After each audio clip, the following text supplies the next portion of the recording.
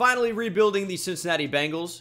They're a really solid team with some big time superstar talent. Need a few more pieces to really complete the puzzle. And yes, of course, I'm a Giants fan. I chose a bad name. Let's just call it what it is. Uh, I know what the comments will say about how this is my real favorite team. And trust me, guys, fire away.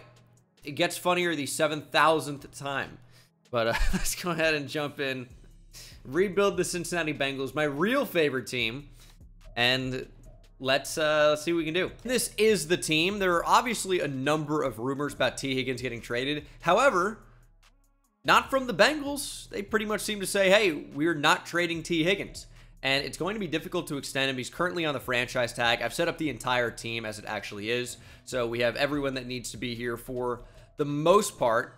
Still waiting on Tanner Hudson to sign. That'll make a huge difference at tight end, too. Brought back Trenton Irwin. But as you can see on offense, it is how it is. We need upgrades on the O-line, but brought in Trent Brown, brought in Mike Gesicki. People say Gesicki for some reason. It is. It's Gesicki. I don't know where people are getting Gesicki from. Zack Moss should be a decent addition to their team. Wide receiver three is a problem. Wide receiver three is a big problem. Joe Mixon, of course, on the Texans now. And defensively, it looks okay. They're really strong in the secondary. Geno Stone was a new addition, as was Vonn Bell. Still have Jordan Battle. I love Dax Hill. He's at superstar dev right now. I might end up moving him to corner. And he did play some corner at Michigan. He was a hybrid slot corner. Did play some boundary. Played some free safety. But Mike Hilton is the slot corner. And that's he's a really, really great one.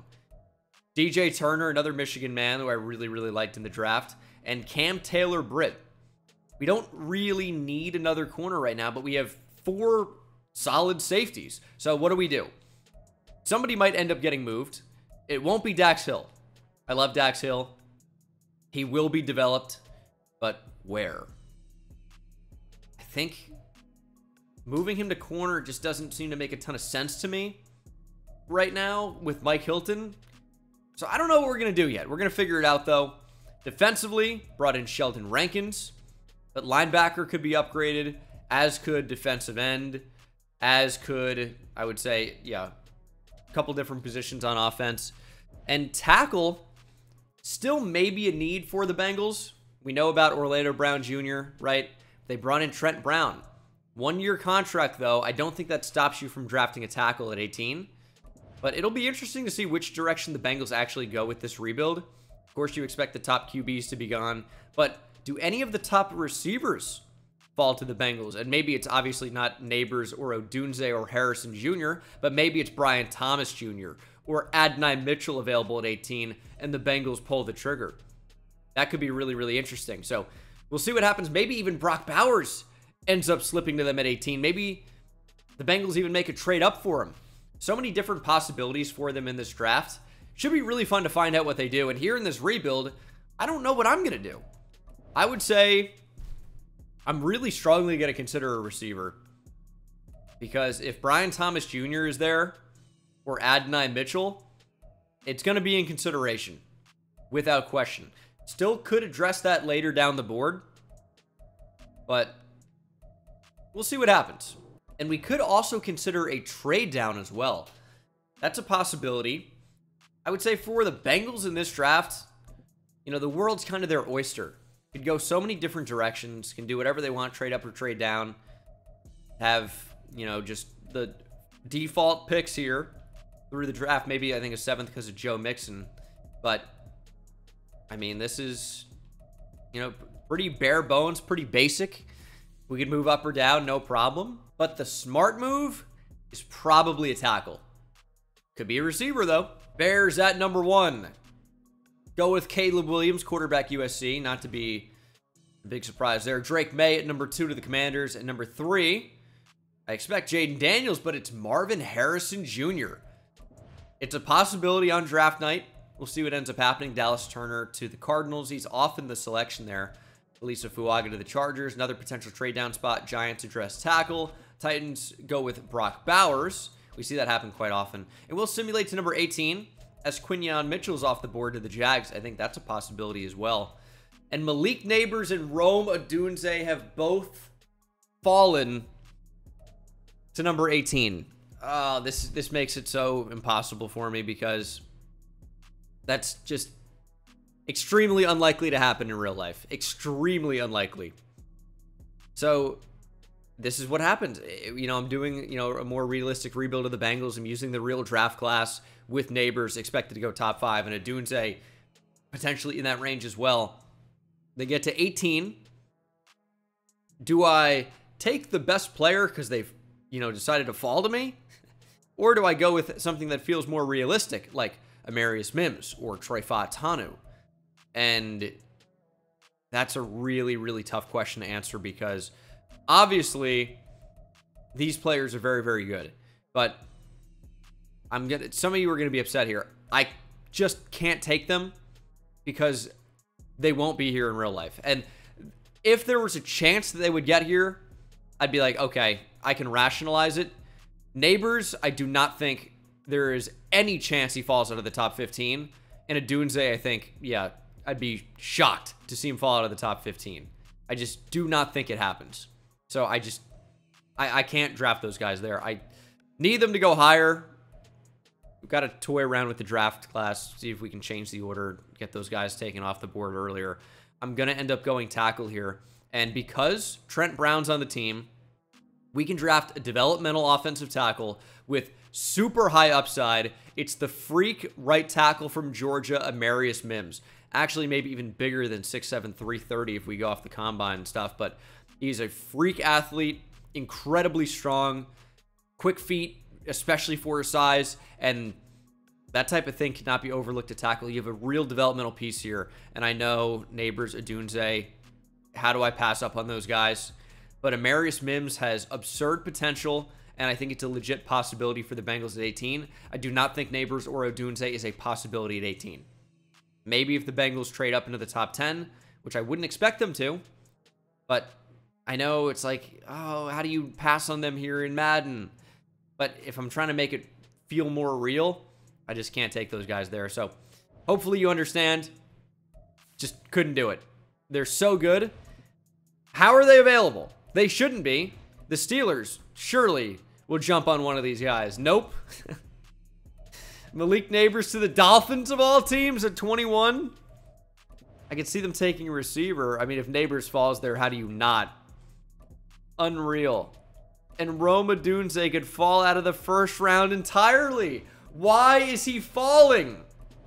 This is unreal. Who did he kill? Is Roma Odunze wanted for murder? That's what I need to know. No way he goes past the Ravens pick, surely. Chiefs, they have to draft him. They go Kool-Aid McKinstry over Roma Odunze. He's available in round two. What is happening? I know it's a stacked receiver class, so you could expect some of these guys to fall a little bit, or they could just get drafted really early.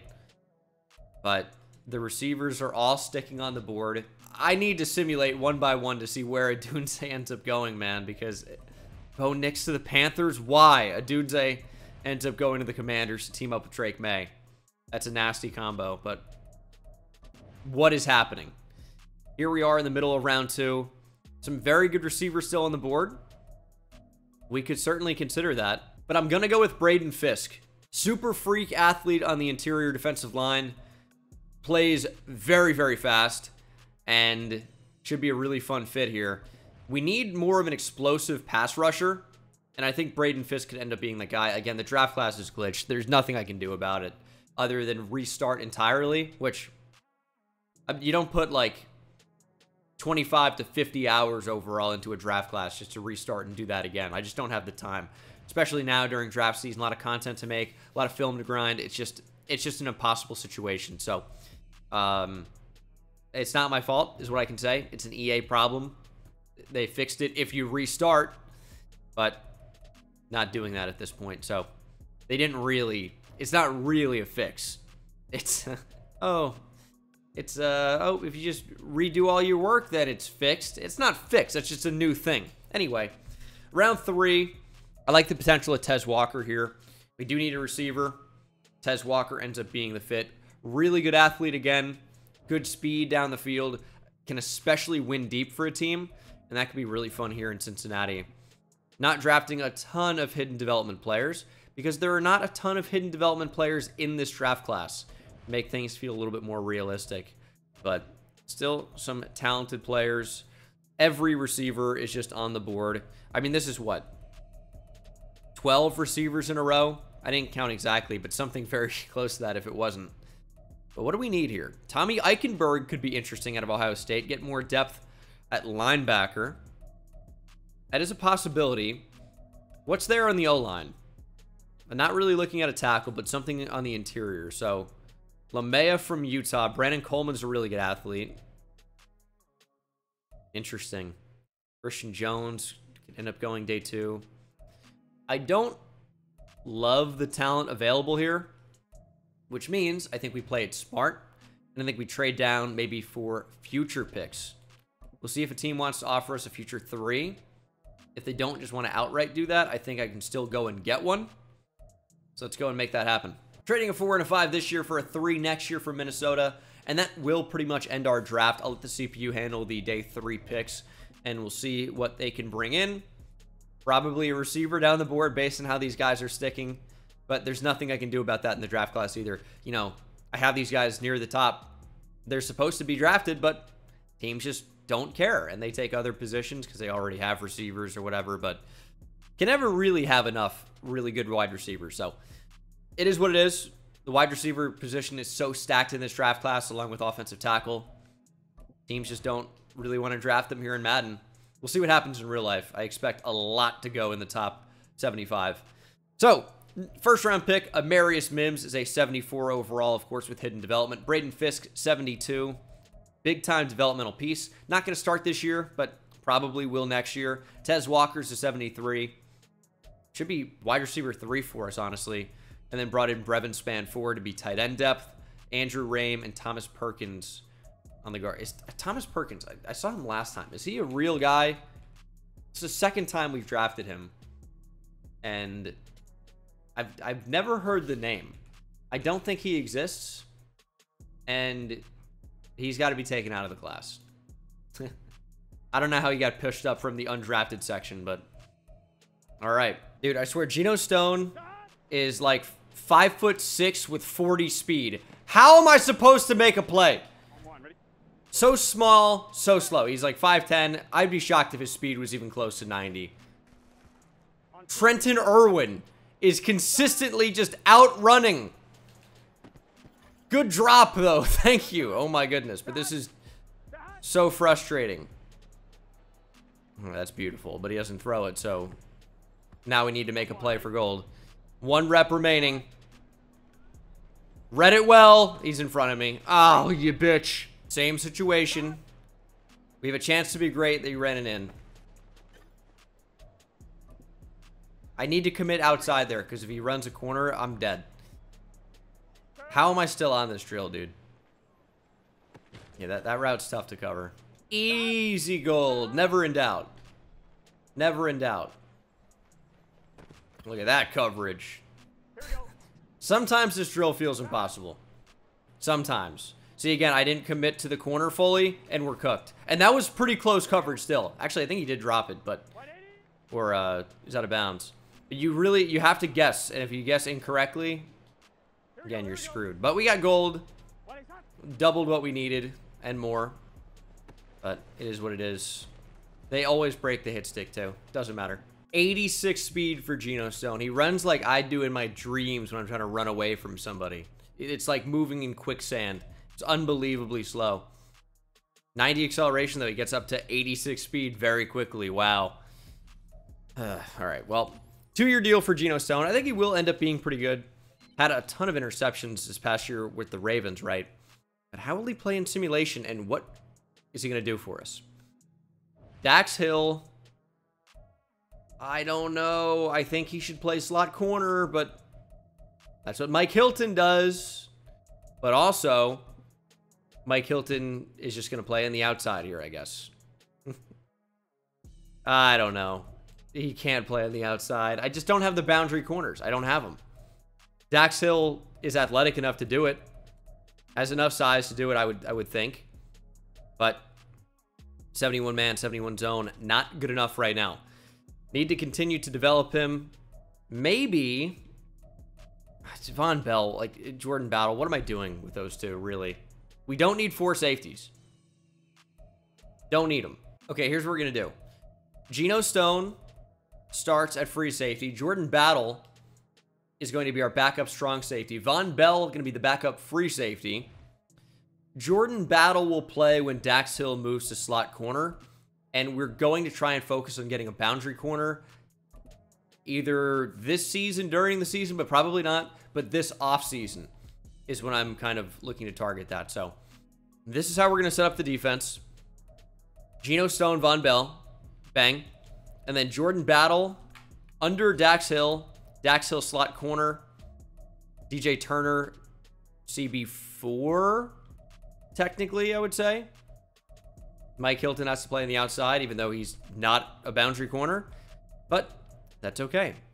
Texas legend Joseph Ossai Hookem. You didn't think I wasn't going to get the horns up, did you? Of course. Ooh, and Amarius Mims is going to get some development here. Go pass blocking. I appreciate you, Trent Brown. Let's do pass block finesse. He's already as powerful as they come out of the draft. Plus three to pass block finesse. Okay. I like improved rookie for my developmental offensive tackle. I have not seen that before, but I like it. And then Joseph Ossai. Would love to develop him. But, I mean, they're athletically, the profile is great. Right? But technically, power moves, finesse moves, block shedding, play rec, all that stuff is not so great. Marius Mims gets 4,500 XP. Thank you, Trent Brown. I mean, he could be pushing 80 overall at some point in the next couple of seasons, which doesn't sound crazy, but I'll tell you, for an offensive lineman, it is crazy. Those guys just do not get developed in, in game. They just don't. So we could, you know, toy with the XP slider, you know, boost up uh, offensive line development, but gonna keep it as is. Everyone always asks, what are your settings for the XP sliders? Uh, you know, all the new settings they've changed. And I, I haven't really played with any of them. And I think a part of that is that there's no setting to import your previous settings. So I have to, I would have to do it every single time, which I, I'm sure it wouldn't take very long. But also would I have to talk about it every rebuild and most people are not interested in that. And I don't know.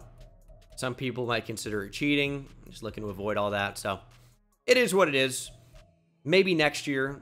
Maybe some rebuilds this year. I don't know. But maybe next year. Like, how great of a feature would it be, quality of life wise? Start franchise with your previously saved settings.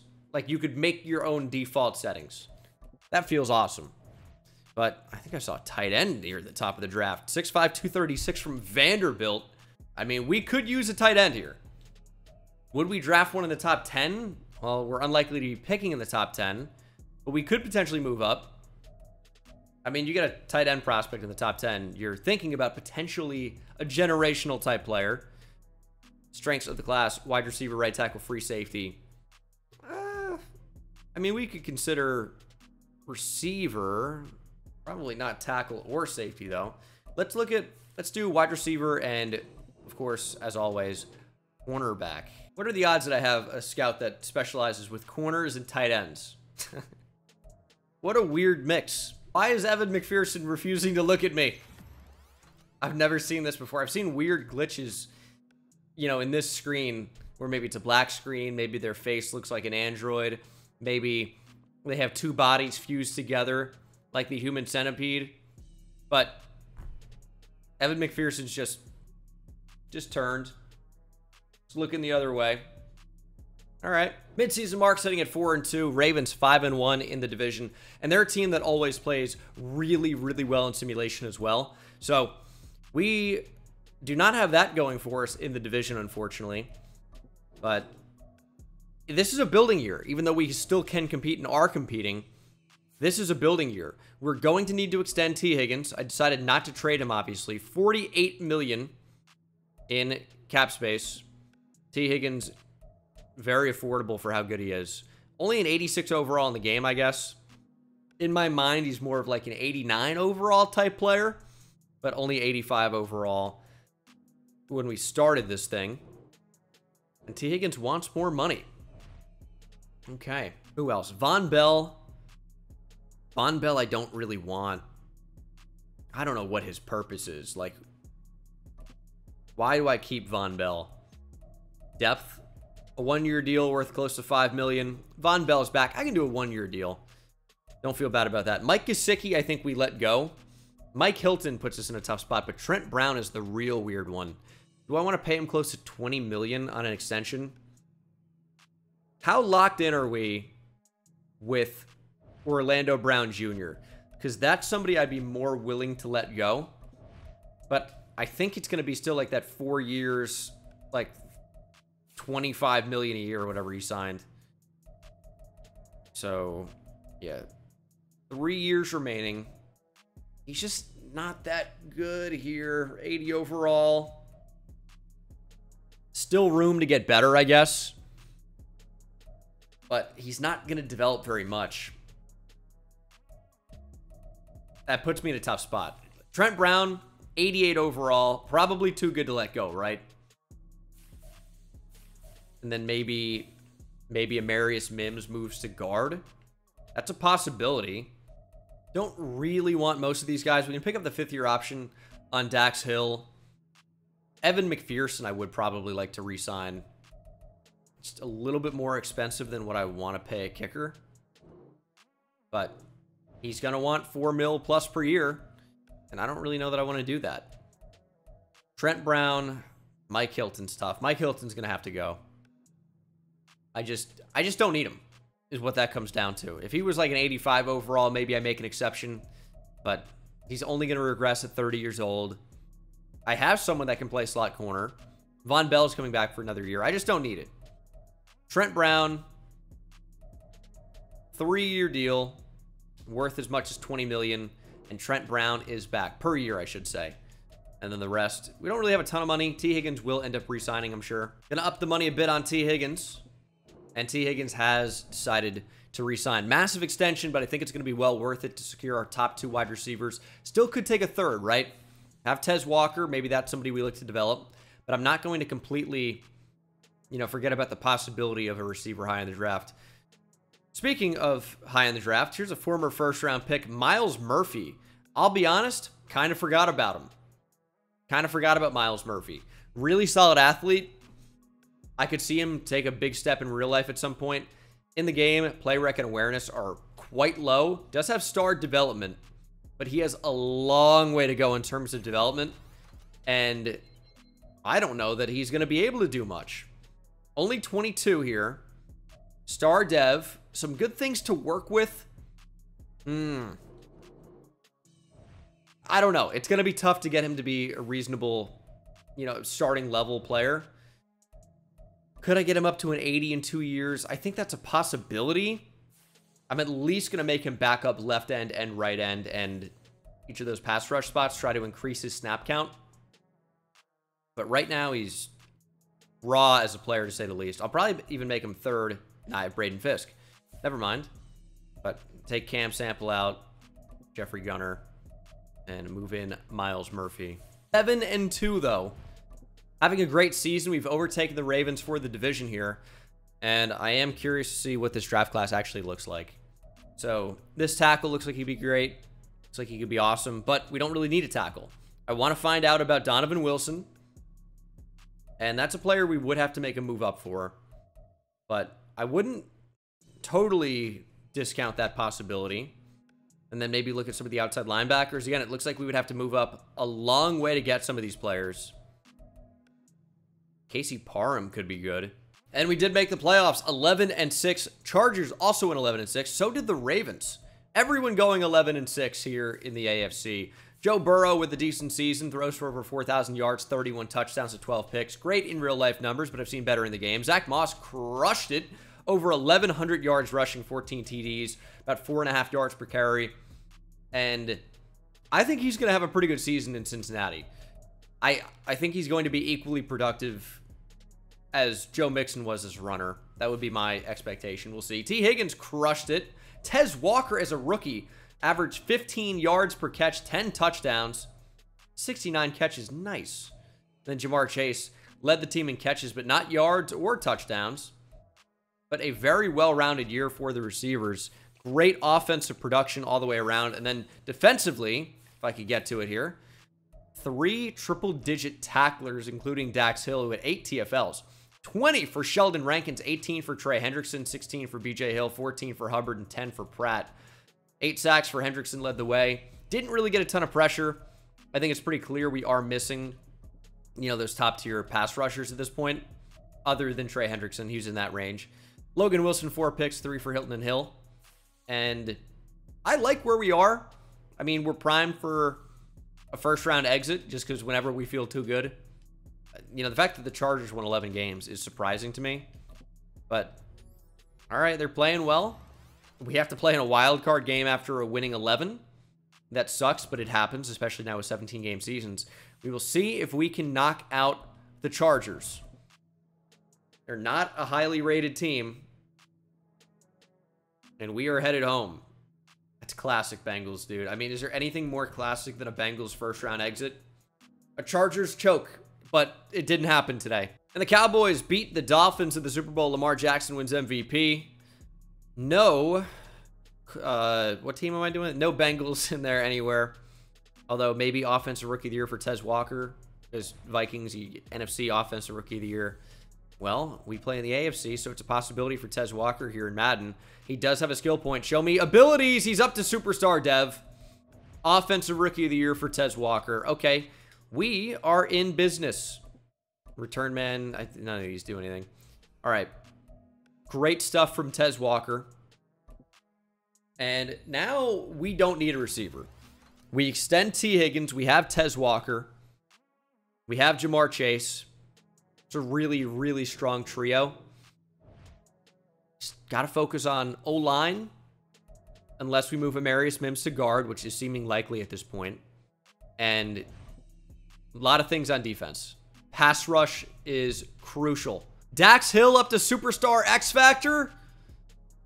Do you think I'm getting rid of Dax Hill? There's no way. But I'm also not going to pick up the fifth year option on him. I want to extend him.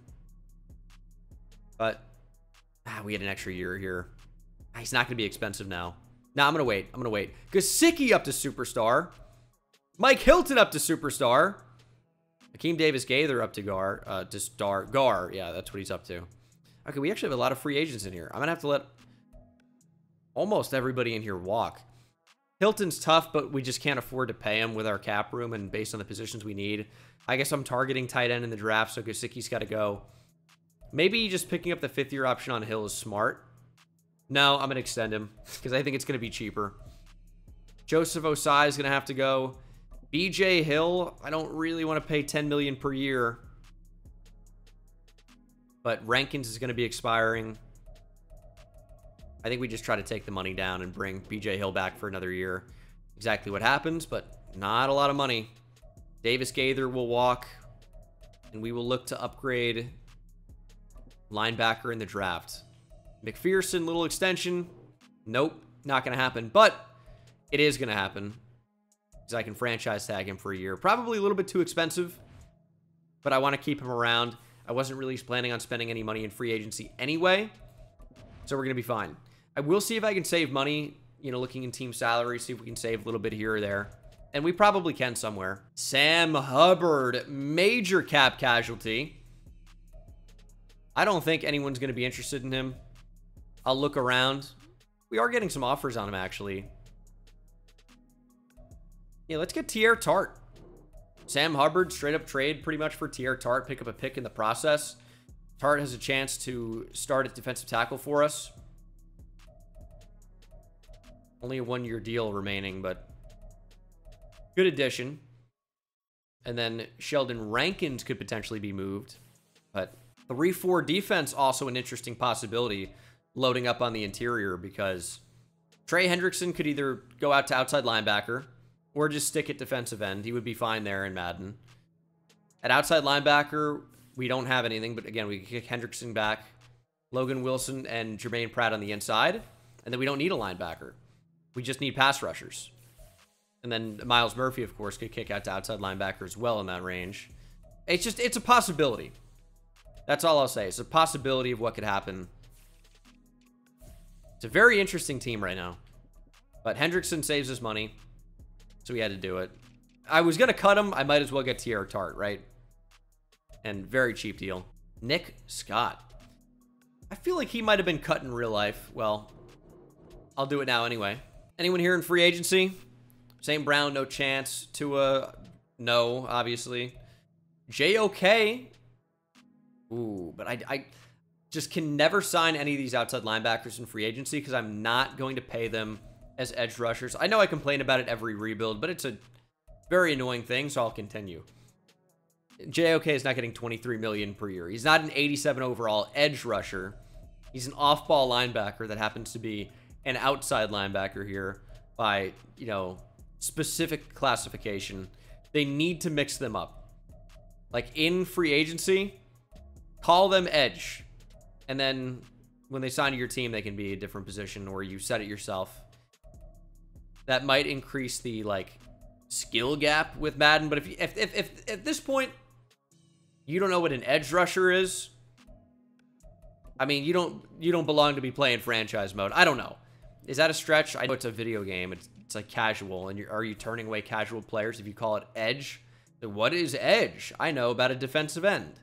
People will learn. Like, all right. I've offered Marquise Bell a contract, or Marquise. So Marquise Bell is a good insurance policy if I can't draft a linebacker. Any good boundary corners in here? Stephon Gilmore for a year. If I can get him on a really cheap contract, sure. But not not a deal breaker if we don't bring him in. I kind of don't expect to, but nobody's offering him. So I guess there's a chance. Vikings trying to bring in Stephon Gilmore, but they can't. He's headed to Cincinnati for a year. And that's one of those players that has been at the top of his game for a while. And you probably just don't realize just how many teams Stephon Gilmore has played on, especially if it's a new team in 2024.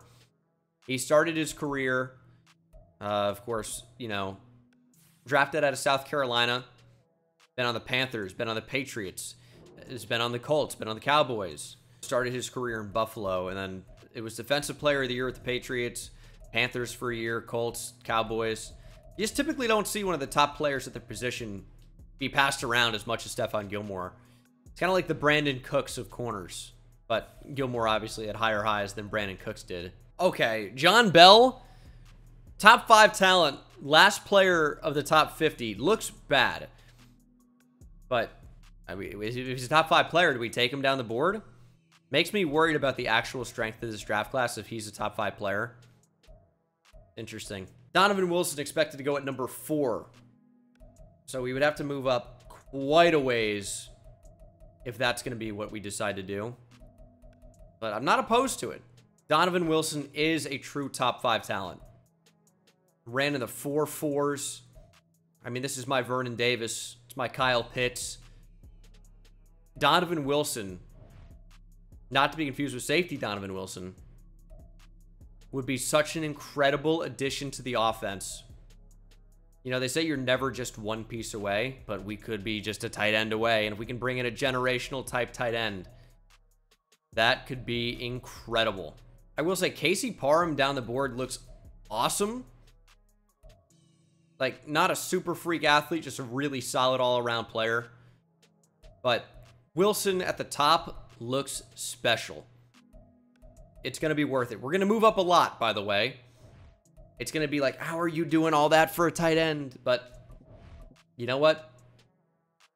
It's going to be worth it. Trading a first this year and next year, a third this year, we have two of them, and a third in 2027 for the number four overall pick. And then we are taking a tight end, a not premier premium position in the top five. And not only are we doing that, but we traded all the way up to get him. He looks unreal it's worth it for a potential generational player. A short, A medium, and I'm assuming A deep route running. I can't find it. Oh, top right. A deep route running. A catching traffic, A catching, A run block finesse, A spectacular catch. Where's just regular catching? That's an A2. Catch. I mean, he's unbelievable. 91 speed at 6'5", 236, 88 acceleration and agility, 84 change of direction and jumping. He's unbelievable. I had to. I had to. You understand. I surely you understand. I can't leave generational players on the board. I guess I don't know if he's for sure generational, but he sure looks it. Sure looks like he could be. And then John Bell's on the board. I don't really need wide receiver, but I'm only a man, right? Am I capable of leaving a top five talent on the board here late in the second round? I'm not sure I am. I wanted a boundary corner, but not sure anyone fits the bill. Maybe Tyreek Watts. Ugh. He looks okay. Roger Kennedy looks like a pretty solid linebacker. Wish I knew a little bit more about him. But looks like a great option. And who knows if he's still going to be on the board next time we pick. Probably not.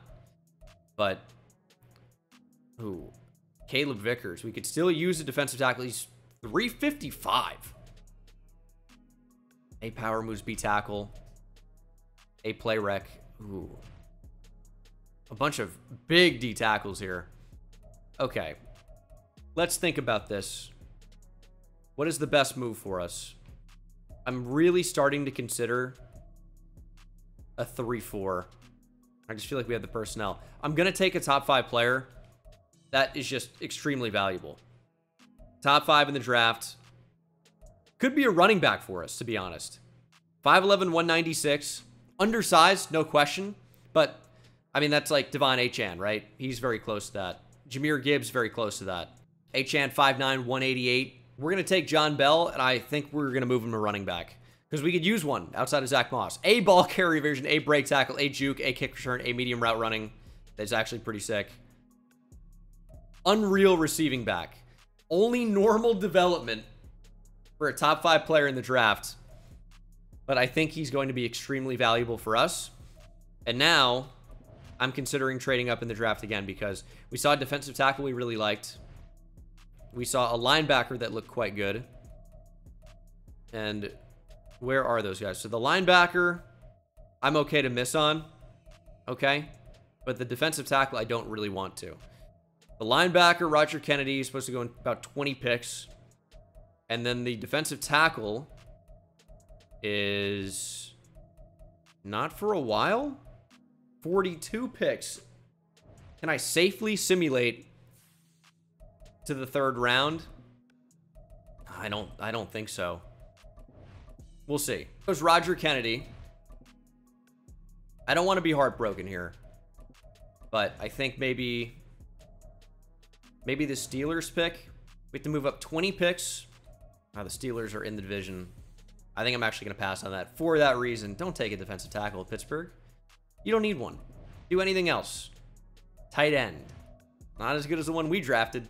Okay, I am trading a three and a five this year, as well as Sheldon Rankins. Final year of his deal, of course, signed a two-year deal in real life with the Bengals.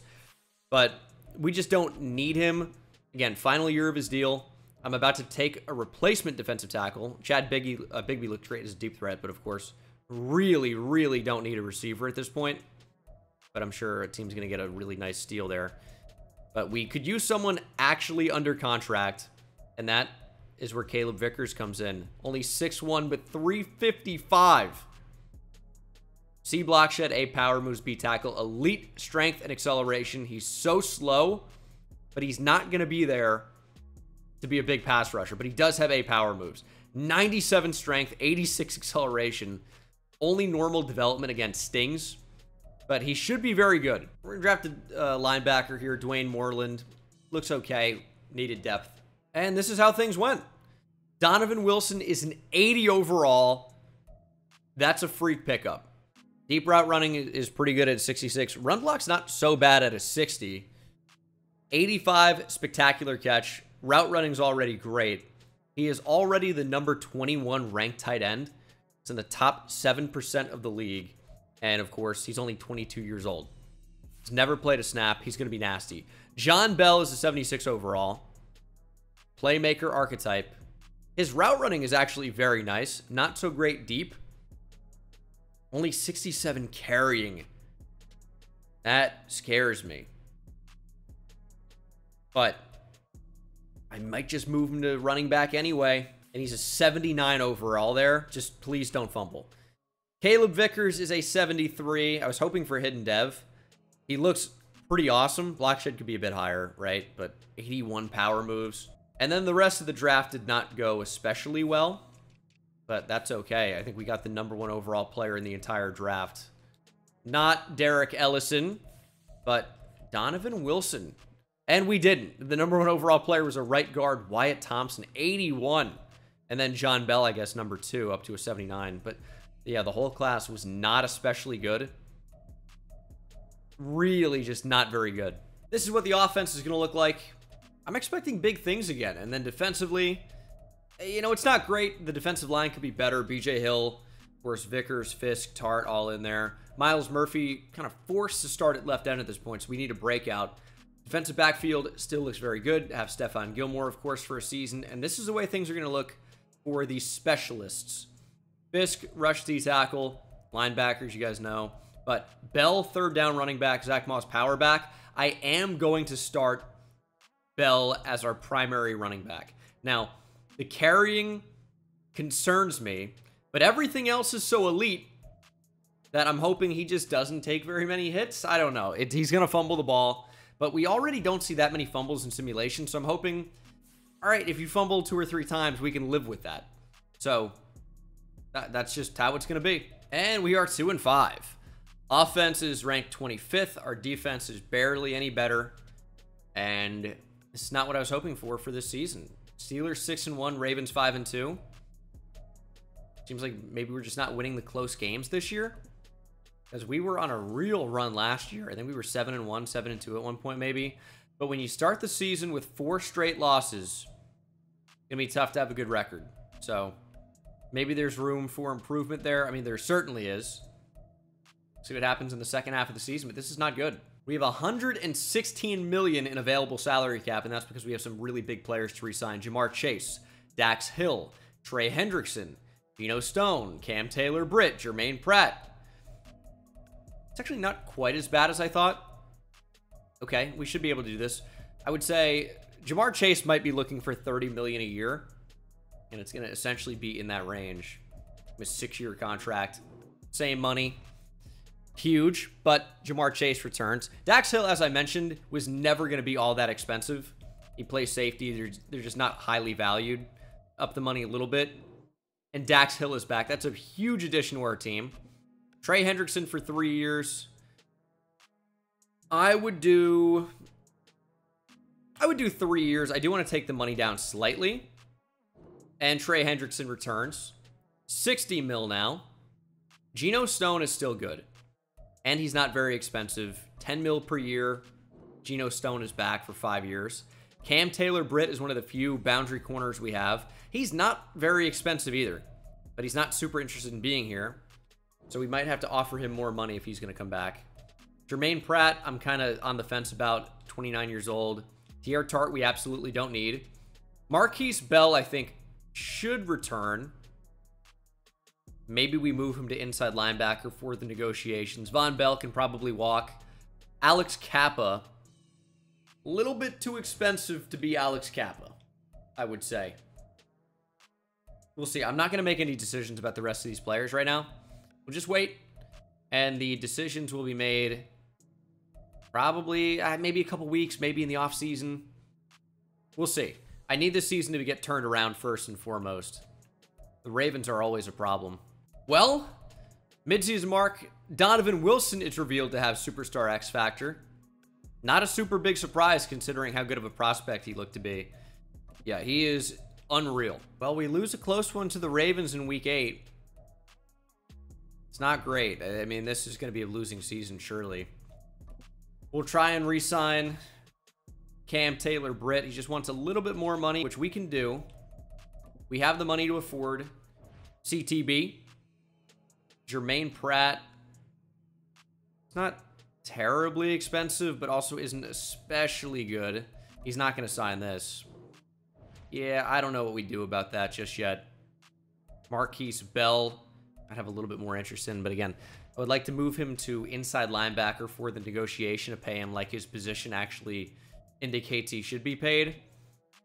Alex Cappa, if he signs this, fine. All right, he's back. 13 million, a little bit too much, but we can live with it. And we went 6 and 11. Well, at least we still have our first round pick. No, we don't. We traded it to get a tight end. Okay, well, our offense really struggled. Our defense was bad. A little bit of a setback here in year two. Joe Burrow looked better numbers-wise. Rushing, ooh. Only one fumble, but John Bell struggled as a rookie. 52 power back might have something to contribute there. Maybe he's more of a change of pace guy, and that would be okay. Not like Zack Moss lit it up either in his attempts. Okay, so no running game definitely hurt us. Donovan Wilson had a very good rookie year. Receivers still are playing so well. Maybe we just couldn't find the end zone for one reason or another. We are still getting no pressure on the QB. We got to figure it out. This was a really bad year, too. We were near the bottom of the league for sacks, too. I, I need more pressure. Buffalo. Maybe the Buffalo defense is the way to go. Always beat the Bills in the Super Bowl. Dak wins league MVP and Super Bowl MVP. What a year for the Cowboys. Man, video games are fun. Donovan Wilson may have won AFC Offensive Rookie of the Year, and he did. Of course, not an award in real life, but we, we like it here in Madden. Never mad about more XP. So, Donovan Wilson crushing it. Was it worth the trade up? Well, here's your argument, right?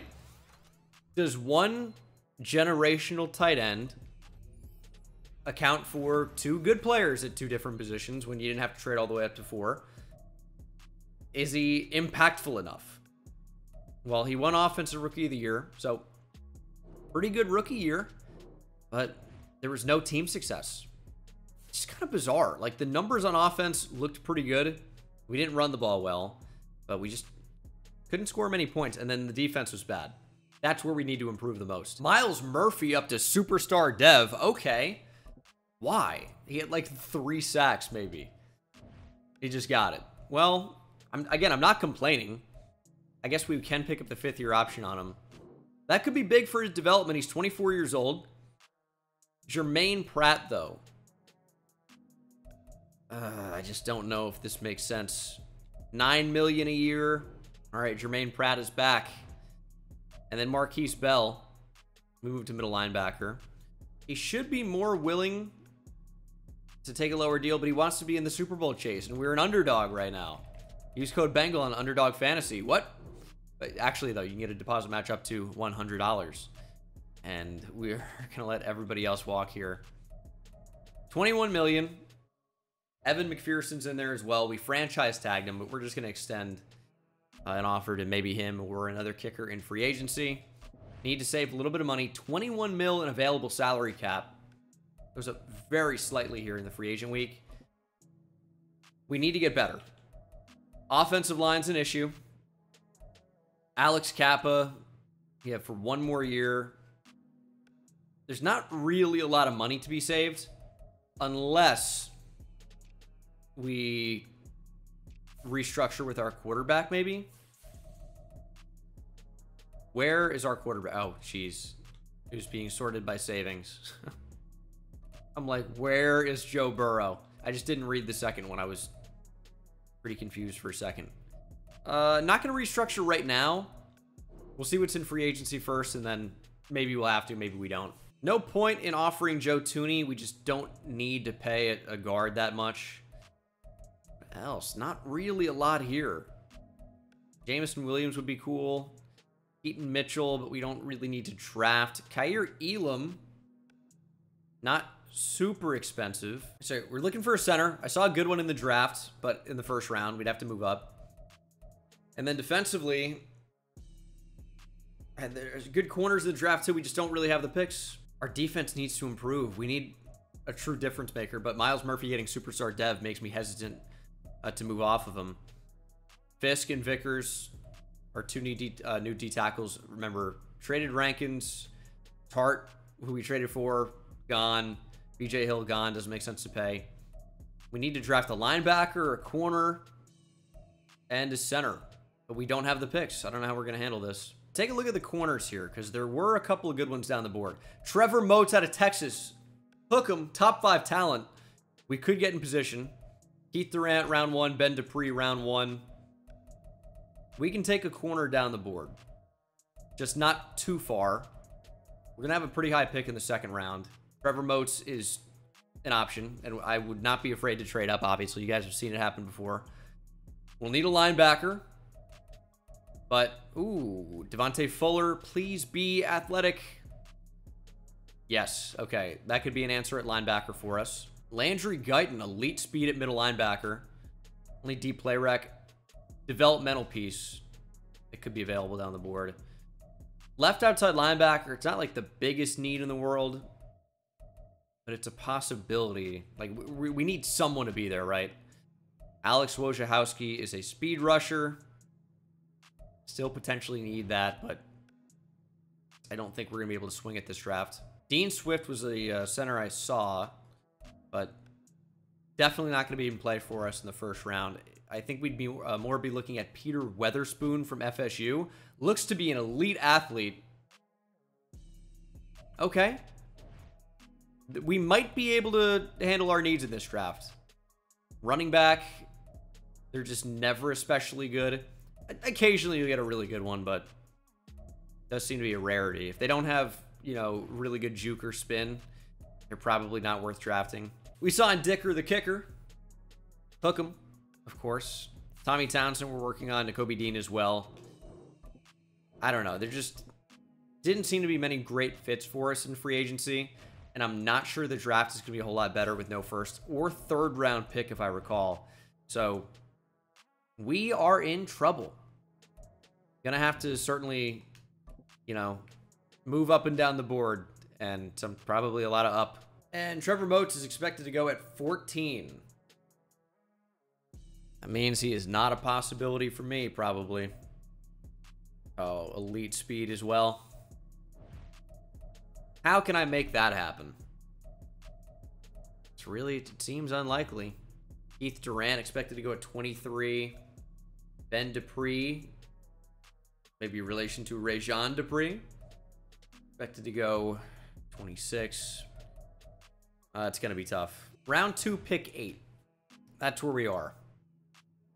It's, it's going to be tough. Devontae Fuller looks great.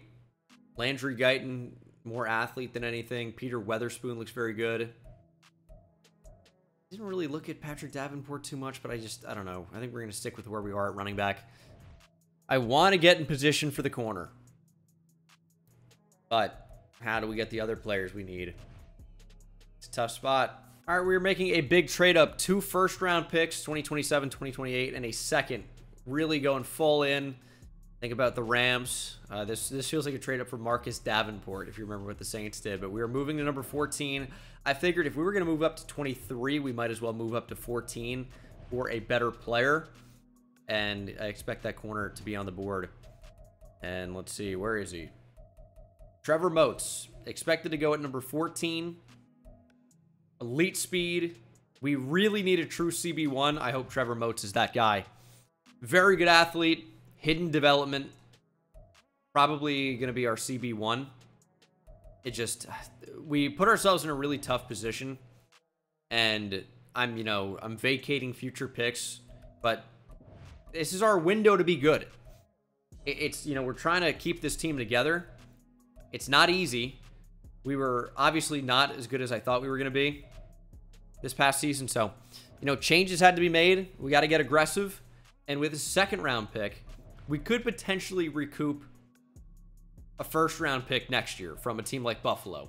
But I don't know that I want that. I know that seems crazy, but we'll see. The trade I've decided to do is this second round pick or a second from Buffalo this year and a second next year.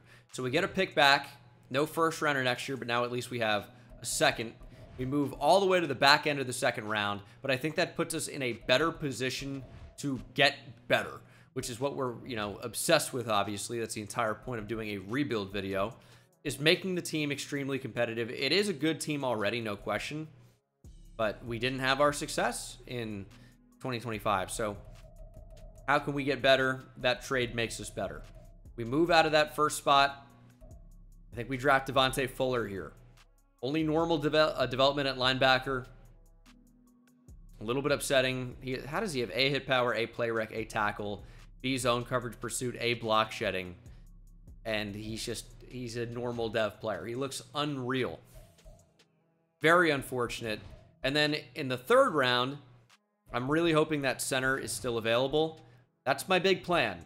Is draft the center, and now we have a team. Peter Weatherspoon, hidden dev, hopefully. He's got unbelievable athletic testing. Skills wise, he's great. This is a steal. Hidden development, only 85 strength, but 85 acceleration, great speed. That's a center. That's what we like. Someone maybe is a little bit more nimble, but can really move. Jason Kelce made a career out of it. Although I, I would not say Jason Kelce lacked strength. I'll say that. Landry Guyton, though. Do we take a chance on him? It's either that or trade down. And it's down the board a lot. Hold on. If he gets my fifth round pick, we'll draft him, but I'm trading down here. I think the future picks are going to be more valuable. The Bears, ooh, Seahawks could be bad. The Vikings, that's a 2028 though. The Bears are offering me, I don't want that. Let's do the Seahawks 2027 third rounder. So that's next year we get a third round pick again. Recouping some of our draft picks for trading up kind of the smart thing to do. And drafting this linebacker is not going to be make or break, but I do hope he's still available. Did look very interesting, but is off the board.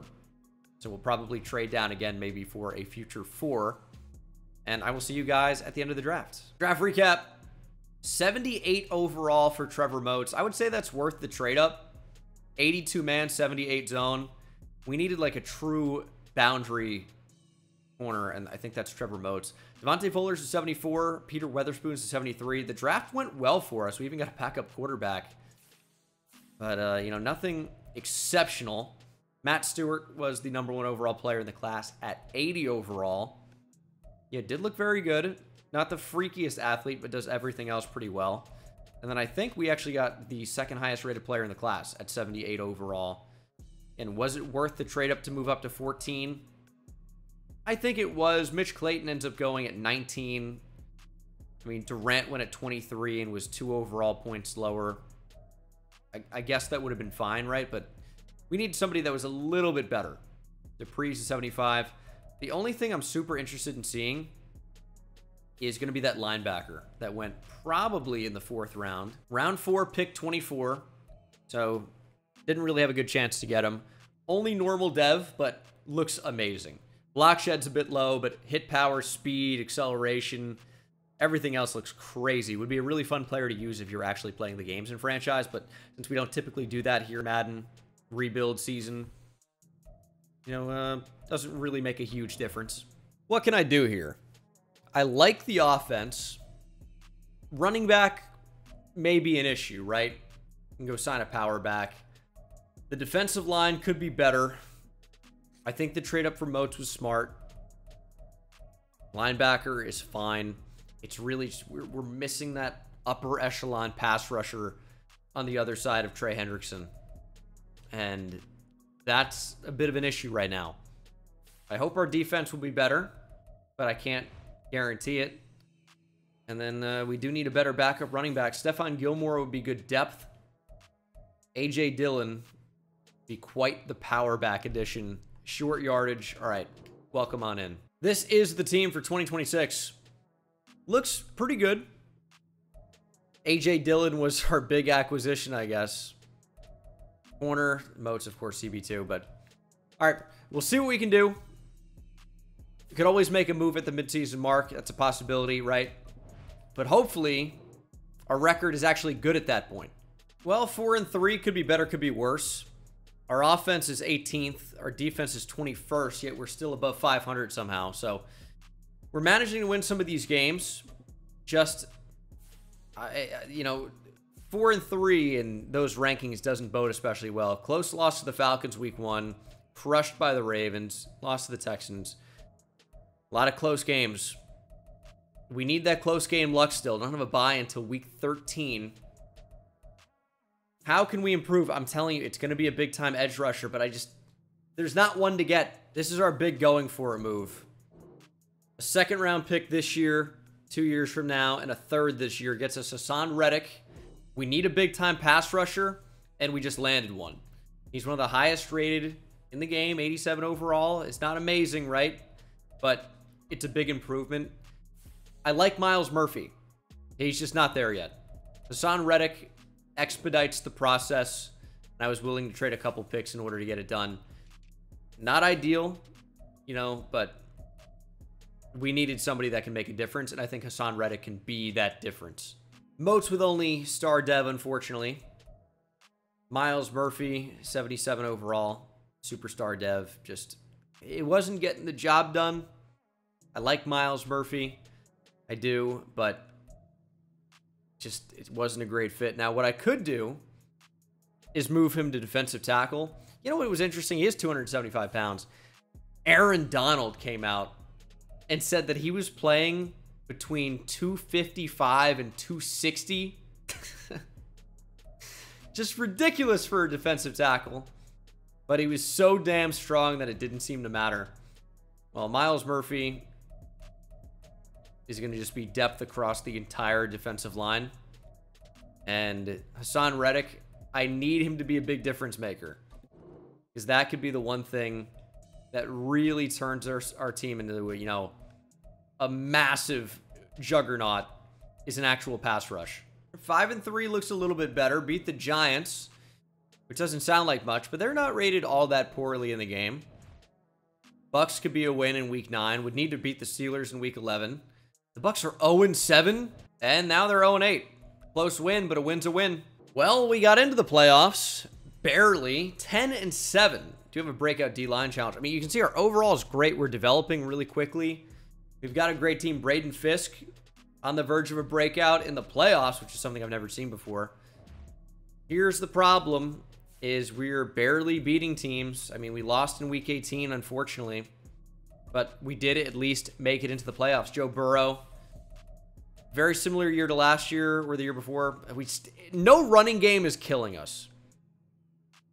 That's our biggest problem, probably. No running game is devastating. Ja'Marr Chase had a killer season. Donovan Wilson was amazing. Tez Walker, Tee Higgins were contributors. And then defensively, Germaine Pratt had 163 tackles, 21 for Hendrickson. Seems like we got pressure at least. Who knows how many of those sacks came with the other team, where Haason Reddick was. Did we get him from the Eagles? We may have. I don't know if he changed teams before that. Seven picks for Germaine Pratt. Oh, he's going to win Defensive Player of the Year. Unbelievably, but he's going to do it. Seven interceptions for Germaine Pratt. Okay.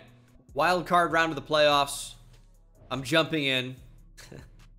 it's early, but at the same time, I want this team to be successful. If I have to jump in and see what this team can do in game, I'm going to do it. Bengals Jets from MetLife Stadium. Jets to the board first 3 0, but we answer with a touchdown to take the lead. Keeping the Jets off the lead, but they get two? They get a safety? Okay, and they take the lead 12 to 10. A very bizarre game so far, but we take the lead 17-12. Fourth quarter now. Got to keep the Jets off the scoreboard. We're doing a good job. And Dicker nails, uh, nails a field goal. Now, unfortunately, this is still a one-possession game. We are only up by eight. I'd love a turnover. Wilson. What? Who is on my field? This is not my defense at all. Who is on the field? What is happening? Timeout. I, I have to. I have my offense on the field. On my defense. All right, my defense is back out there now. I should have called a timeout before the snap. I mean, what a disaster. Maybe this is why my defense can't get a stop. Because my defense is my offense. We have a full team of two-way players and Garrett Wilson's well, Garrett Wilson refuses to be tackled. Under a minute to play. We should almost just let him in at this point. Get the football back. And that's exactly what happens. Really okay with letting them score. I didn't actually do it, but they did anyway. Because if we stop them with a two-point conversion, we just win anyway. But if not, we have time to answer, get down the field. Field goal wins it. letting them score quickly was the move. I mean, first and goal from the one. We're going to be fine. 49 seconds. Win the game. Oh, Tez Walker still on his feet. Barely. All that did was waste time. That was dumb. Still have two timeouts, though. Joe Burrow and all of my weapons. Wilson's a freak. Bell can actually really catch the ball in the backfield. Former receiver, we turned to running back, right? Ja'Marr Chase down the field. Can't catch it. Kind of just couldn't make a decision quickly enough there. Down the field. Oh, he's gonna he's gonna cook. He's gonna cook, but Burrow's getting sacked. Third and 21. Just one timeout remaining. Ja'Marr Chase make a play. All right, that's pretty good. to the 45-yard line. One timeout, 26 seconds. Only the second catch of the game for Ja'Marr Chase. Is this the same play? Might be. Bell down the field. Clear out. Ja'Marr Chase open again. There it is. Ja'Marr Chase gets us in a field goal range. I really want to try out Dominic Wilson, though. That's not his name. Why did I say Dominic? Don't get sacked here, Joe. His name is Donovan. Field goal wins the game. Let's not get too crazy. We're thrown to the end zone. Donovan Wilson, touchdown! It's more fun. And I don't have to worry about a missed kick. Touchdown with eight seconds to go. Jets, no time, no chance. How is this game not over? It's over. All right, 27-20 is your final. Scary wild card game, but we are moving on to the divisional. And Braden Fiske has been upgraded to star dev. All right. Braden Fiske up to star development. I guess we held the Jets to under 100 yards rushing. I think that was the game goal. But the Chiefs might be significantly tougher. We do have a higher rated team than they do. But they also went 16 and 1. We're trying to hand them their second loss of the season. Walking into Burrowhead. Joe Burrow here at home in Kansas City, Missouri. Let's see if we can steal a win. Let's go. Not a good start. But we answer with a touchdown. But we know the Chiefs are going to do a lot of that today. Please score a touchdown. Nope, we're stopped. 21-7, not out of this game yet. And our offense continues to move the ball down the field. We just are doing our very best not to finish any drive with a score. 23-10. How do they have the ball? It's broken. Negative three-yard rush by John Bell for a touchdown. That isn't a thing. And we didn't get any points for it. What is happening? Burrow has a passing touchdown. I mean, we just... I don't know how we lost the ball. Look at it. It says right there. Zero-yard punt return by Jeff Okudah. And then the next play was a negative three-yard rush for a touchdown, followed up by Trey Benson of the Chiefs returning a kick. Jeff Okudah returned a punt. I don't have Jeff Okudah, surely. We never got the ball on offense. Unless there was a safety. Did they have 21 that turned into 23 and they just call it a touchdown? But zero yard punt return by Jeff Okudah, fourth and one on KC 39. I guess they punted the ball to our two? It's just, it's so confusing the way it's worded. And the Chiefs again have the ball. How do they continue to have the ball? I don't get it. Another three and out. I guess 11 yard punt return. I mean, we, we lose the game. That's what happens next. Well, things are not looking good. Down by 21, fourth quarter. Ja'Marr Chase should be a touchdown. But I just don't think there's enough time. And we can't get a stop. Chiefs with the touchdown. We are cooked. I mean, there's, there's just nowhere to really go with the football. It is over. It, there's just, it wasn't going to happen. I don't know. It wasn't going to happen. And the Chiefs end up winning the Super Bowl 41-35. Dak wins MVP. I need some new playbooks. If you guys have successful playbooks, let me know down in the comment section below. Because lately, whatever I'm doing just isn't working. The number 24 ranked defense, number 11 offense. We are not lacking for playmakers. Our team overall is good. We are just not getting it done. I get here that maybe I don't have a legit running back, but that shouldn't make or break the offense. Get going for another season. This can't be how it ends. It's been very disappointing so far.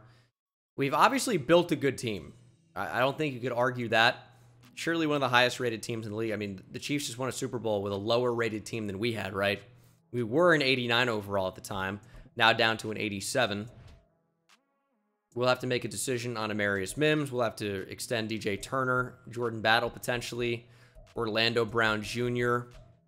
Not a ton of free agents in here, but when you see that Orlando Brown's going to be, you know, 15 million a year, that brings us to you know, one more player probably, and it's DJ Turner over Alex Cappa is probably what it comes down to. So we'll make those calls and hopefully find some more success. I mean, this has been just unacceptable. So, okay, preparation for the final year. Take some time off. This one's been taking a little while. We are back to pick up the fifth year option on Amarius Mims to re-sign DJ Turner, who is, uh, I think, affordable, about 5 million per year on a long-term extension. 19 million left. Jordan Battle, as much as depth is important, I don't think that he's going to be worth the money when I need a starting left tackle. And Orlando Brown Jr. isn't great.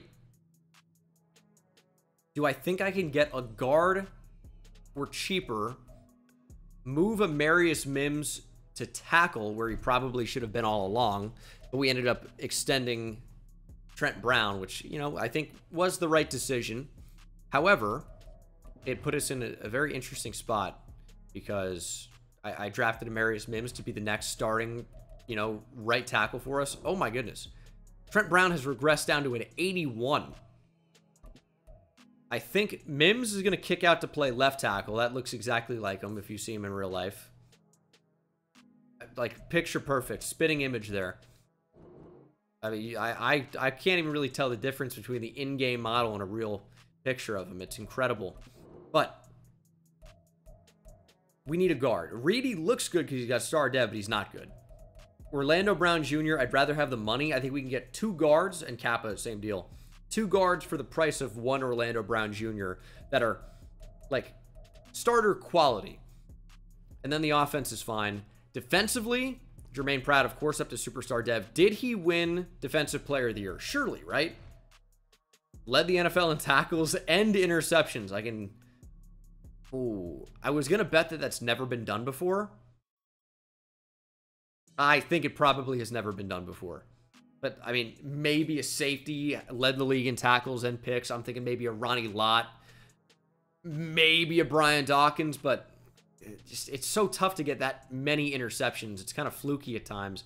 I I don't even know if either one of those guys would have led the league in picks or tackles. Brian Dawkins never had four or more than four interceptions in a season, and the most tackles he had in a season was 95 or 116 combined.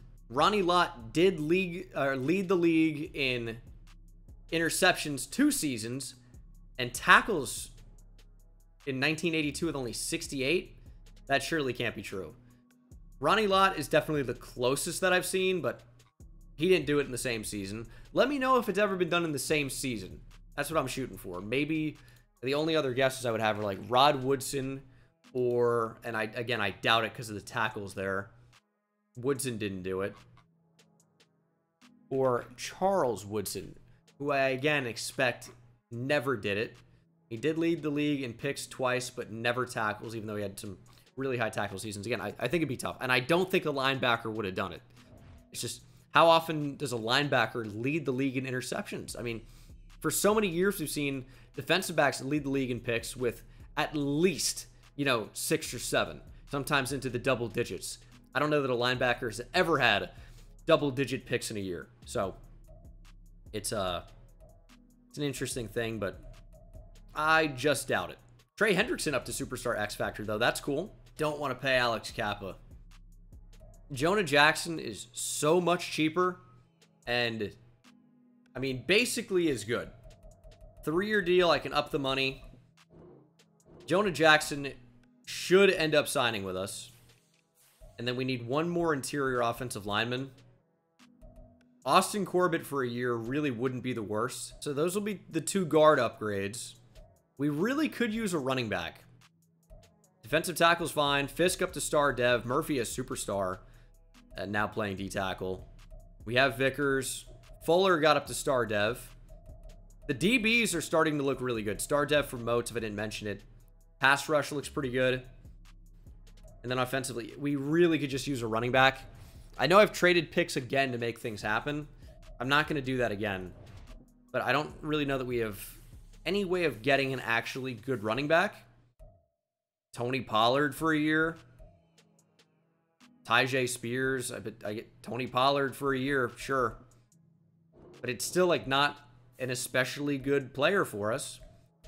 We'll see what this ends up looking like. I'm expecting everyone I'm targeting to sign almost instantly.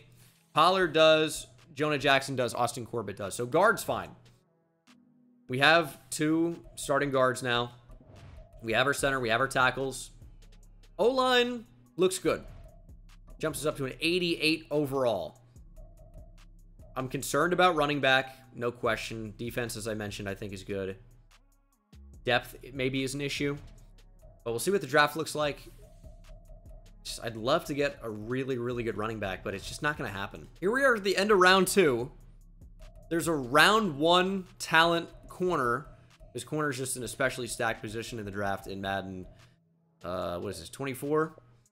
If you're interested in watching MLB 24, by the way, I do upload a franchise series on my second channel, Bengal Plays. Link is down in the description as always and on the main channel. And I stream it on Twitch, twitch.tv slash Bengal. You want to see me play online and rage. I'm sure a lot of you guys like that. Uh, I think I have to take the corner, right? I think I have to. All right, Nick Byram. Welcome to the team. Hidden Dev, good athlete. We'll take that. 6-3 as well. I mean, that's a solid pick at the end of the second round. Gonna let the CPU handle the rest. We have multiple fourth round picks. If I was gonna continue to play this out, I'm expecting this is gonna be the final year. I would trade those down for future thirds, probably or, you know, take a shot at a player. But I think the CPU is going to know my needs and just fill out for depth. That's my expectation. We got a receiver that's not entirely helpful. Backup tight end, defensive tackle, another receiver, a left end, and a corner. But Nick Byram is a 76 overall. Pretty good. I mean, great man coverage, tackling maybe a little bit of a concern, but definitely a good player, as was the number one overall player in the class. 82 overall left tackle Lyle Sheridan. And this is what I like. When there are super juiced offensive tackles that go high in the draft. Like, we had a pretty good run of seeing tackles go at number one overall in the draft. And now we're having an insane run of QBs. Because that's just, you know, the most valuable position. And I, I, I think it is realistic for tackles to be high rated coming out of the draft. 80 overall safeties, unreal. Great corner, a running back. Warren Jowers in the first round.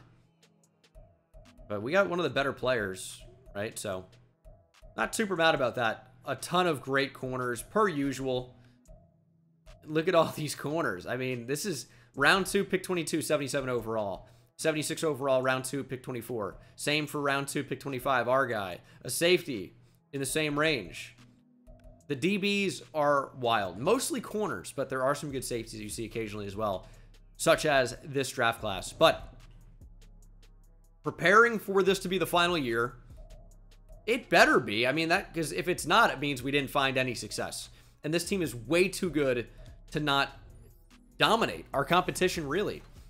But the success has not really been there. It's been frustrating. this team, though, it's as good as it's been. If we're bad this year, I don't know what to tell you because I think we've built a truly awesome team. 88 overall. The offense is especially stacked, but I think the defense is quite good as well. You can't really point to an area of our team and say, oh, that's a bad group. Like defensive line, because the interior isn't like unbelievably stacked, but it's good. The ends are great now with the addition of Haason Reddick. The linebackers are more than solid. And the defensive backs are awesome. The safeties are amazing, and the cornerbacks are really good now. So, They just got to go out there and do it. I and and the continued development I think is going to be important as well, for sure. But you know, I, I'm expecting minimum 10 wins. That's the expectation minimum. But ideally, it'd be a lot more in the neighborhood of at least 11 or 12. But you start pushing 12 wins, you're asking for a lot. How few teams win 12 games a year? One, two in a season, sometimes more, sometimes less, obviously. But I mean, it, it's a couple, but not much more than that usually. Even with the 17 game season, winning 12 is really difficult. You see the occasional team win more than that, you know, 14 plus, but that's a crazy amazing season. Just not typical. Last year, one team in the AFC won 12 games or more. It was the Ravens with 13. And in the NFC, you had three teams who won 12. So, as, as I say, you know, not a lot can do it, but you know, it's a it's a zero sum game. If somebody wins a game, somebody's got to lose a game. And, you know, as as we see some teams are especially bad, they end up being a free win, like the Panthers, who went 2 and 15. That's also rare. We don't see a lot of teams win two games or fewer. Again, it does happen, obviously, but not that often. You know, maybe maybe a team a year wins three or fewer, two or fewer, two or fewer especially, is obviously super rare. And I like the parity of the NFL. I mean, that's one of those things is, you know, they say any given Sunday. But you can point to the NFL and be like, well, what a nasty ankle breaker. Even with the best team in the league against the worst team in the league, the spread is typically, you know, not even double digits a lot of the time. So, you know, you expect these games to be close. These wins are hard fought. The NFL is such a, a great league. Am I am I am I a a simp here for the NFL? What is this? A shill? Maybe so, but I mean, there's a reason we're all watching an NFL video right now. Maybe I'm not, but the rest of you, you surely are, right? You're watching this or listening to it. Football's awesome. And uh, the competitiveness and the any given Sunday aspect is, is why we love it. Obviously, I'm a big college football guy too, but, you know, it doesn't quite have that upper echelon of talent like the NFL does, obviously. And, um, you know, you see some massive blowouts in college football. And it does happen in the NFL, obviously, but not quite as much. I do probably like college football more than the NFL right now. And I think a contributing factor in that is that Texas is finally good again, it would appear. Big Texas fan, and uh, growing up in New Jersey, even with all my family in Texas who made me a Texas fan, uh, you know, I was a Giants fan. And they, I don't know if you guys follow football very much, they haven't been so good. And that's been the trend. It's been so bad for so long. And it's so sad. Okay, you guys know the team at this point. I like it. We've changed some things, obviously. Need a little bit more development. Myles Murphy is just going to have to be just our depth across the entire defensive line, as I mentioned. And we need the boys to show up. That's what it's going to be. We got our power back. He's a 72 overall. Surely that's not going to be bad. We are, what, an 89 overall team now after training camp. The Browns are an 81 overall team. If we have the same record at the midseason mark, the video will end abruptly. It's actually a gamble I don't like. Scratch it. Never mind. Never mind. It's back on. Uh, Brown. Oh, well, I guess we don't have to. Browns two and five, and we went five and two. Ravens undefeated right now. I would guess that one of our losses is to them. Maybe not. Donovan Wilson up to a 93 overall. Plus three run block. He's so good. Deep route running's never really been upgraded much, though. I think it was a 67 when we drafted him. Now it's a 70. Catching is amazing. His speed is still amazing. What is he doing wasting his time at Vanderbilt? Smart guy, I guess. All right. Playoff time. We should be in them, and we are. We won 13 so did the Ravens, 13 and 4. We just won a shootout against the Steelers, 40 to 38. Goodness. Joe Burrow, very good year, 4,500 yards, 39 touchdowns this time to eight picks. Rushing, John Bell got better. Still bad. Still bad, but better. He's just not a running back, is the problem. I know the casuals will tell you, oh, he had a 1,000 yards. He must have been good. This number is not good. 3.9 yards per carry. He fumbled five times. That's okay. We won anyway. Donovan Wilson is a freak. 1,100 yards receiving, 12 touchdowns. Tez Walker was amazing. Ja'Marr Chase was a solid contributor, and so was Tee Higgins. And then defensively, I like that we're not getting as many tackles. It means we, you know, weren't stuck on the field as much. We were getting off the field. Four double-digit TFL guys are starting defensive line, and then Logan Wilson had nine. Sacks, Reddick 13, nine and a half for Hendrickson, five for Fiske. Interceptions, five for Trevor Moats, four for Turner and Cam Taylor Britt. Our DBs were going crazy. This is what I wanted to see. The team actually come out and play well, and we saw that. Did the Ravens beat us, though? Is that a team I really have to worry about? We lost to the Browns in week one. The Ravens crushed us in week four. 49ers crushed us in week 11. And then we lost to the Ravens again in week 15. So 0-2 against the Ravens this year. I'd love a third chance. You know what they say, third time's the charm. Cam Taylor Britt going to get a slight upgrade here. Man coverage, easy big boost with the slot upgrade. Should be a plus two or three, I would bet. And it's a plus three. Cam Taylor Britt going into this game looking real good. And I'm jumping in. Wild card round against the Colts. Their QB cannot be Anthony Richardson anymore. As we saw him with the Jets. They are an 84 overall team. They have Laiatu Latu, who is superstar X Factor now. Good player. I think Laiatu Latu, if he stays healthy, is going to be great. Big fan of his. All right, up 7 nothing early. I love this Bengals orange. If you guys don't know, peek behind the curtain here. Or maybe not the Bengals logo itself, but the, the color right behind it, which is very similar. The reason my name is Bengal is I chose my name back in 2010 or 2011. And I was in the Call of Duty community and I needed, you know, a gamer tag. And I really like tigers. That's part of, uh, you know, I'm, I'm sure why I like the color orange and vice versa, right? I just, there's something about it. I love the color. It's probably why I like tigers so much growing up. And I chose to name myself after a tiger. And I think somebody's name already had tiger in it. I'm like, I'll mix it up a little bit. And, or that I was buddies with. And I went with Bengal, Bengal Tiger. And then, lo and behold, I start doing NFL content and uploading Madden videos. I was doing Madden videos already at the time, or a little bit after that in 2012. But I chose the name about a year before that. So that's backstory. I didn't explain it in an exhilarating way, but that's pretty much it. Like Tigers, Bengal Tiger, I'm Bengal now. Boom! Doing Madden. like the Giants. Well, actually, I hate the Giants, but they are my favorite team. But they bring me more pain than anyone else. Shootout last time we played the Steelers, final week of the season. Hopefully we can take them out easier this time around. Like that helmet. And my saturation's bumped up a little bit. But that helmet color in particular looks so good.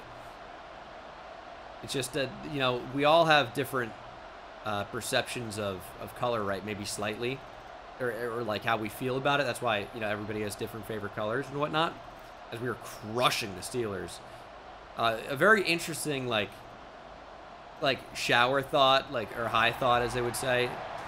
Think about how you can have absolutely no conver- confirmation that what I see for the color orange is what you see, and same with any other color. It's just if it's all the same, like how your eye views it, right? And let's say like an orange, right? If we just say, oh, well, that's you know, it's that's the color orange. Everyone sees that. That's why it's called that. But if my orange for you is actually what most people perceive to be green, I don't know. I, am I is this too crazy? It's just something interesting to think about for me that like you can't be 100% certain that we all see color the same way. You know, if someone's colorblind, obviously it's a little bit different, but what's to say that the color that I see for green, you know, every green means go? What if that for you is how I see blue? I, I know this is an insane conversation. I'm gonna move on here. Like, what is bro yapping about? I, if this was on TikTok, instantly. But it is a good question. What am I yapping about? This is unrelated. We are about to play in the AFC Championship. A lot on the line. Years and years of work has led us to this moment. We'll get an AFC championship game against Anthony Richardson. We played him last year, and I think we won. And then we got shut down by the Chiefs, if I recall. This time we have home field advantage. Let's take them out. We've been just running through people this season, which is nice. Although the Jets find the end zone first, and ooh, I was going to say likely second as well. Now it's 10 to 7, but we take the lead 14-7 going to the half. 17-10. I said 7, that was my, my fault the first time. 24-17 now. And just one more score is going to do it, and that is it. 38-17 is your final as the Bengals will move on to the Super Bowl. This is one of those teams that has never won the Super Bowl. They've played in multiple, of course, losing to the Rams. I think they lost to the 49ers back in the uh, either late 80s or early 90s when Ken Anderson was quarterback, I'm sure.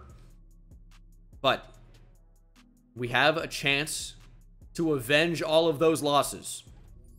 We have a chance to be Super Bowl champions and bring the Lombardi back to Cincinnati. What a Super Bowl! It's Vikings Bengals.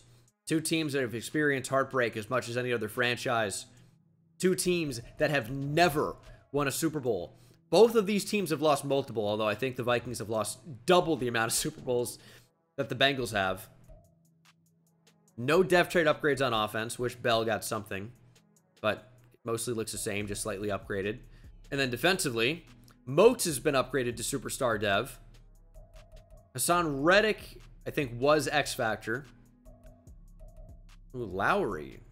Got another star or better development corner, probably just star, and probably the same for Nick Byram as well.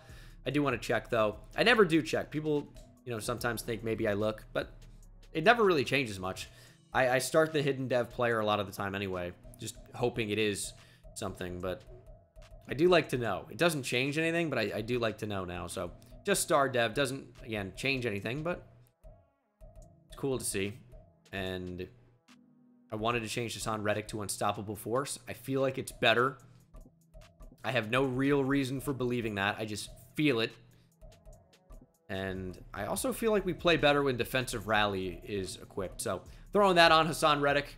And let's win a Super Bowl. We're a little unhinged here at the end of this one. I recognize it. I won't apologize. Vikings Bengals here in Tampa. Raymond James Stadium. It's a decent stadium. I like the pirate ship. I've been here.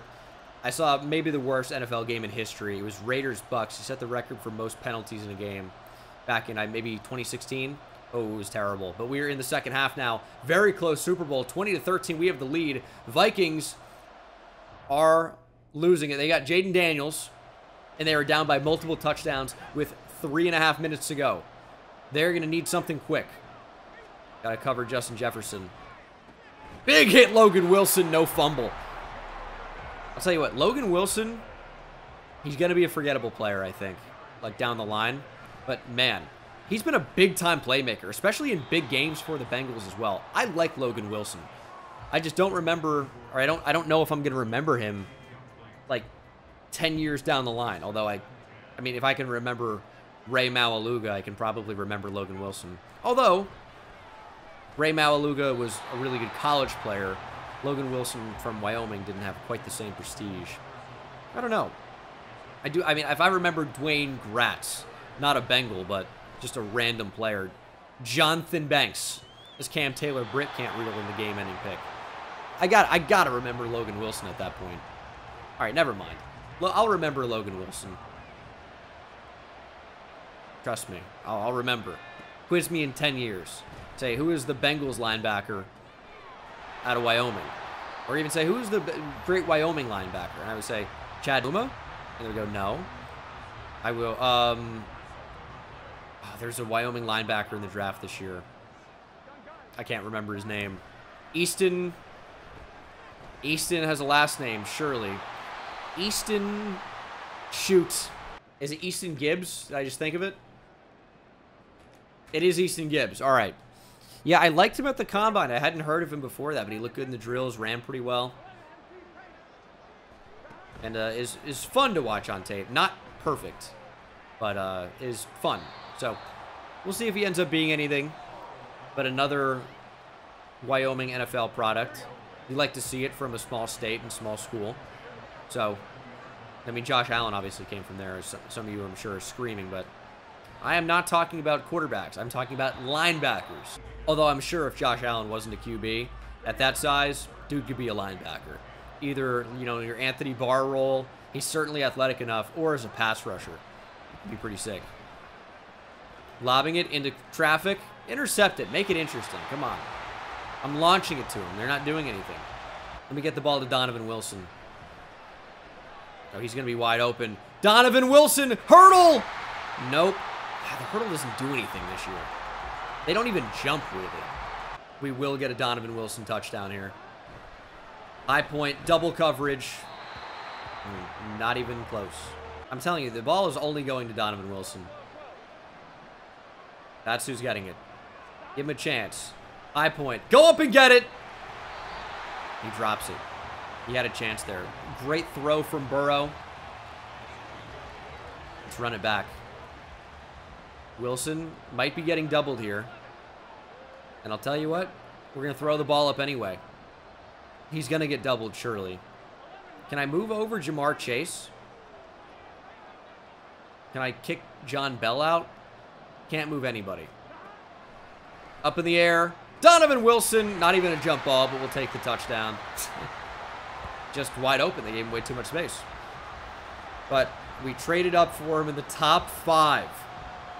And now he scored a Super Bowl touchdown. And then I think was about to run into the wall. Maybe CTE kicking in. Hate to see it. But superstar type player. X Factor, to be exact. And he comes up clutch. 33 to 13 could be your final if things go or don't go well here. Throwing toward the end zone, nearly caught by Urban. All right. Turnover ends the game. Pretty much anything ends the game. Down goes Jayden Daniels. That's number 64, Vickers. 355 pounds, a man up the middle. Fourth and 11 game on the line, obviously. They're down by a billion. This thing's over. Good luck. Can't keep up with Jordan Addison in coverage with a linebacker, Germaine Pratt. But that will be the Super Bowl. 33 to 20 is your final as Joe Burrow has finally won it all. I say finally. At this point, he's like, what, 30 years old in the game? Is this 2027? Probably 30? Something, if he's not 30, he's very close to it. 29 or 31. But that is the game as Jayden Daniels, number 22 with the default player model. Super happy for Joe Burrow, of course. Two big-time transfer QBs. That one Heisman's at LSU. There you go. Took me a long time to make that connection, but that is going to do it. Joe Burrow, admiring his reflection in the Lombardi. I can't blame him.